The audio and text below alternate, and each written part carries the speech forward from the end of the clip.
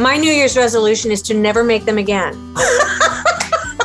no, I think you always, I don't know if you want to call it a resolution or challenge yourself to something.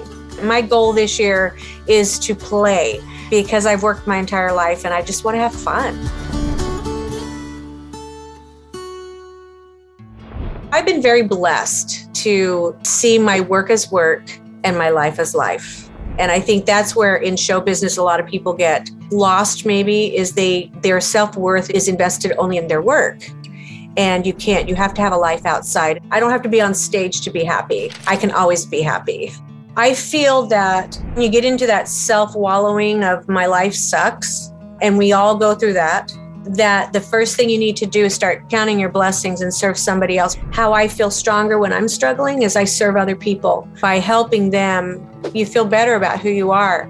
You end up brightening their life. It makes you feel better. When I did my book signings, I would stay there for hours. And this one, I'm gonna cry. This one couple came through and they had me sign a book. And she said, Can I hug you? And I said, Of course you can hug me. And she said, I wish you would have written this a year ago because maybe our daughter would still be alive.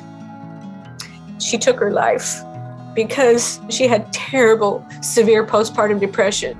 That's why I have shared things in my life, whether it's the loss of my son, because I feel if it can help one person, then that's what we're supposed to do as women. We're supposed to complete each other.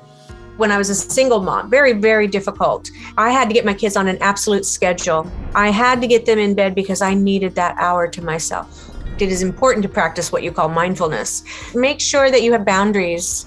Make sure that you take those little moments, whether it was just to take a bath or to read a book or to sit and cry. Do you know what I mean? It is always worth it to invest in yourself, your mental health.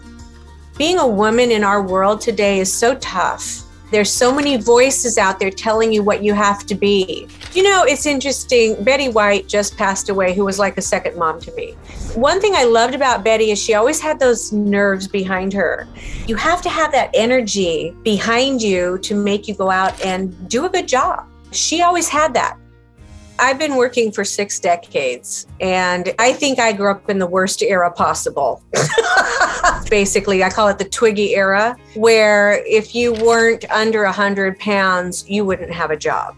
Because of that, I have dieted my entire life. I think that affects your mental health. It affects your self esteem, your self worth. My philosophy is I don't do skinny, I do healthy.